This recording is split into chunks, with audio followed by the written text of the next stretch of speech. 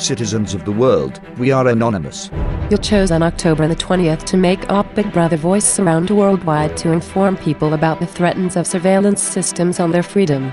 We are now in times when stakes about both individual and common liberties are critical.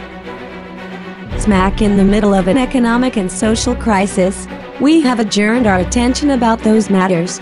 We forgot such atmospheres often lead to threats on our fundamental rights. We call you once again to act against systems of the almighty surveillance state.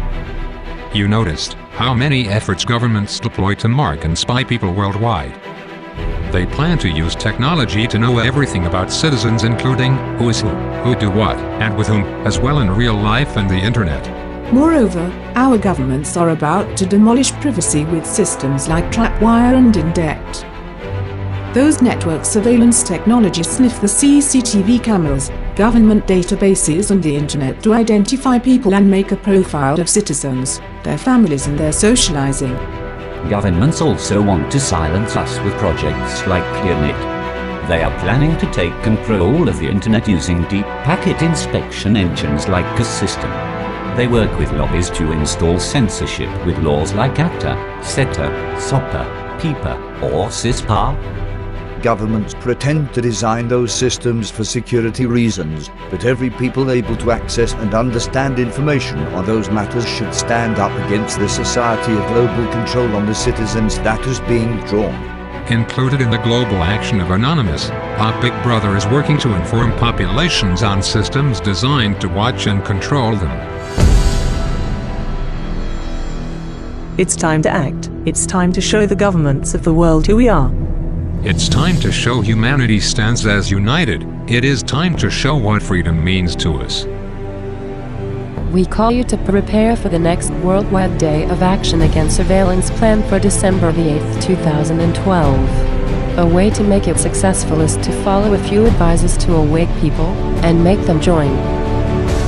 For tips,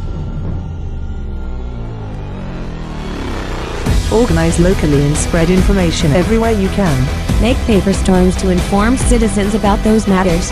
Publish informative posters everywhere you can on the internet. Make graphitis and chalking in order to display the operation in the streets. Relay information on what's happening to your and comrades. Always focus on others' safety as well as yours. Work on making the protest peaceful.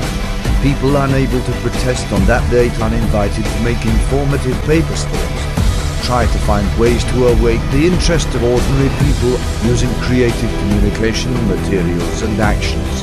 Act now and spread the word in your mother tongue. Enter your countries and cities in the pad linked on the description of this video once you can organize things. Governments are supposed to defend the interests of their peoples. They are not here to cheat the citizens. It's our freedom and our privacy. Resist and build together, because we are the sons of the resistance. Let us unite the whole humanity as one. Let it be the largest protests of the world history. United we stand, divided we fall. We are anonymous. We are legion. We do not forgive. We do not forget. Expect us.